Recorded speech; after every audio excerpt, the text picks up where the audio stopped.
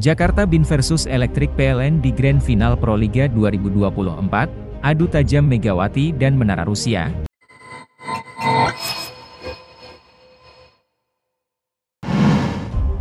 Jakarta Bin ditantang Elektrik PLN di Grand Final Proliga 2024 hari ini 20 Juli, Jakarta Bin lolos ke partai puncak dengan status runner-up Final Four.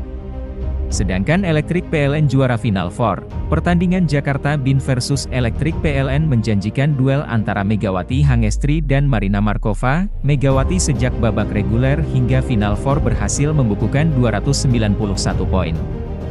Terbanyak di antara pemain Jakarta Bin, performa Mega di Final Four juga terbilang stabil hingga mampu menempatkan diri di urutan 6 daftar top skor sekaligus menjadi pemain lokal tersubur. Namun, lawan yang akan dihadapi hari ini benar-benar mengerikan.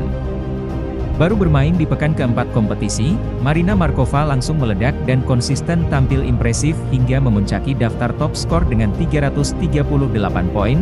Keganasan menara Rusia setinggi hampir 2 meter itu pula yang membuat elektrik PLN berhasil memenangkan 5 dari 6 laga di Final Four.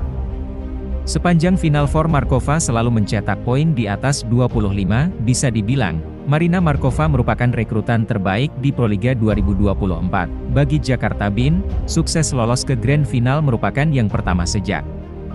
Klub berdiri pada 2019 lalu, sedangkan bagi Elektrik PLN ini merupakan Grand Final pertama dalam tujuh musim terakhir, kali terakhir Elektrik PLN menjejak partai puncak adalah pada musim 2017. Bila diamati, Jakarta Elektrik sangat bergantung pada dua pemain asingnya dalam mendulang poin. Mereka adalah Marina Markova, Rusia, dan Katerina Sitkova, Azerbaijan. Markova baru bergabung dengan tim di putaran kedua babak reguler, tetapi ia sudah menjadi top skor tim, sedangkan Jakarta Bin memiliki tiga pengumpul poin yang bergantian menjadi andalan. Megawati Hangestri saat ini menjadi pengumpul poin terbanyak. Tapi, dalam beberapa laga, ketajamannya berada di bawah produktivitas Kenia Charcaces, Kuba, dan Karabajema, AS. Untuk Bajema, ia baru bergabung dengan pada putaran kedua.